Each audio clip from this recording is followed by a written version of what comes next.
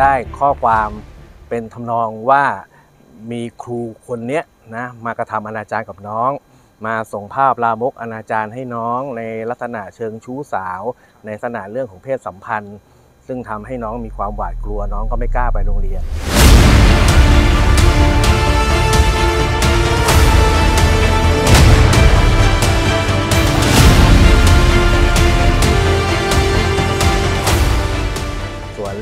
การเอ่อแตะเนื้อต้องตัวแล้วก็ไปจับอวัยวะสำคัญของน้องเนี่ยอันนี้ก็เป็นข้อหาอนาจารนะฮะซึ่งเมื่อวันที่ 10 พฤษภาที่ผ่านมาเนี่ยน้องกับคุณแม่ก็มาที่นี่ครับแต่เนื่องจากว่ามีการสื่อสารกันระหว่างตัวผู้เสียหายกับพนักงานสอบสวนเนี่ยไม่ตรง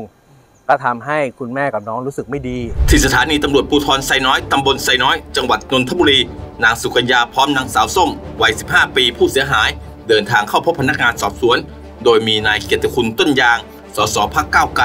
พร้อมทนายเดินทางมาด้วย เมื่อช่วงเดือนสิงหาคมที่ผ่านมา เวลาประมาณ 13นาฬิกานางสาวส้มได้เรียนวิชาพระศึกษา ต่อมาเกิดอาการอ่อนเพลีย เหนื่อยไม่มีแรงนายกิจจาครูผู้สอนวิชาพระศึกษา โรงเรียนแห่งหนึ่งจังหวัดนนทบุรี จึงให้น้องส้มเข้าไปพักที่ห้องพักครูต่อมาประมาณ 20 นาที นายกิจจาได้ตามน้องส้มเข้าไปที่ห้อง ขณะที่อยู่ด้วยกัน นายกิจจาได้บีบนวดขาให้กับน้องส้ม และใช้มือจับบริเวณจุดซ่อนเลนของน้อง แต่ครูพละไม่ยอมหยุดแค่นี้ 13 กันยายนที่ผ่านมาได้มีการส่งข้อความทาง Messenger Facebook มาหาน้องส้ม ในลักษณะเชิงชู้สาว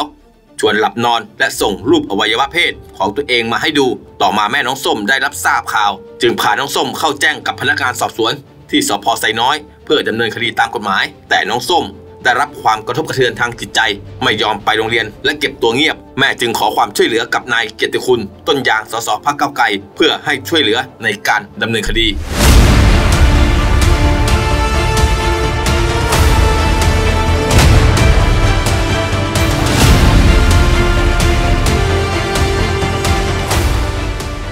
ทางวินัยก็ทราบว่าท่านผู้อำนวยการก็ได้ประสานกับเขตการศึกษาของจังหวัดนนทบุรีเนี่ยเพื่อจะมาอาสอบในทางวินัย แต่ผมเห็นว่าทางวินัยก็ด้วยความเคารพนะไม่ไม่รู้ว่าจะไปถึงขั้นตอนไหนยังไง แต่ผม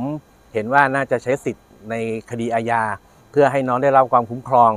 ตามประมวลกฎหมายวิธีพิจารณาความอาญาแล้วก็น้องก็ถือเป็นผู้เสียหายในคดีอาญา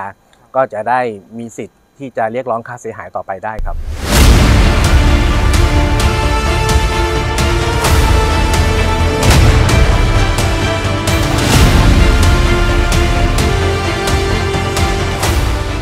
ภูมิกับสพไซน้อย ได้มีการประสานกับผู้เสียหายในคดีล่วงละเมิดทางเพศ ซึ่งเป็นเด็กและเข้ามาแจ้งความ สืบเนื่องจากผู้เสียหายมีอายุเพียง 15 ปี และถูกทำอนาจารเบื้องต้นได้มีการพูดคุยกับแม่เด็กแล้ว ซึ่งอยู่ในระหว่างการสอบปากคำ ส่วนขั้นตอนกระบวนการสอบสวน ทางเจ้าหน้าที่ตำรวจจะนัดหมายพนักงานสอบสวนอายการ และนักสังคมสงเคราะห์นักจิตวิทยา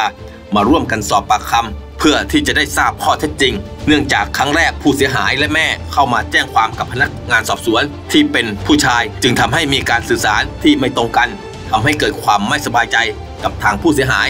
จึงได้มีการสั่งการเปลี่ยนพนักงานสอบสวน ที่เป็นเจ้าหน้าที่ตำรวจหญิง ในส่วนขั้นตอนของกระบวนการสอบสวนเนี่ยทางเราก็ จะได้นัดหมายทางเอ่อพนักงานอัยการและนักสังคมสงเคราะห์นักจิตวิทยานะครับ มาร่วมทำการสอบปากคำเด็กเพื่อทราบข้อเท็จจริงครับ ก็ในในครั้งแรกเนี่ยเอ่อประมาณ 2 วันที่แล้วนะครับ ก็มาพบกับร้อยเวรนะครับ ซึ่งซึ่งเอ่อเป็นร้อยเวรผู้ชายนะครับ ทางทางเราเนี่ยเนื่องจากสพไซน้อยเนี่ยมีพนักงานสอบสวนหญิงพอดีนะครับ ทางผมเนี่ยก็ได้พิจารณา แล้วเนี่ยเห็นว่าเรื่องนี้เป็นเรื่องละเอียดอ่อนนะครับ การที่จะให้พนักงานสอบสวนหญิงสอบปากคำเนี่ยน่าจะเป็นการดีนะครับ วันนี้เราก็ได้สั่งการให้มีการเปลี่ยนผู้ทำการสอบสวนนะครับ เป็นพนักงานสอบสวนผู้หญิงนะครับในส่วนของการดำเนินการนะครับ เรายืนยันว่าเราทำเต็มที่นะครับ ตามกฎหมายแน่นอนนะครับ ภายใต้พยานหลักฐานที่ที่เกี่ยวข้องนะครับ ก็ขอให้ น้องนะครับ มีกำลังใจที่ดีนะครับ ก็ก็ยืนยันว่าเมื่อเรื่องถึงตำรวจแล้วก็จะทำให้ให้เต็มที่นะครับ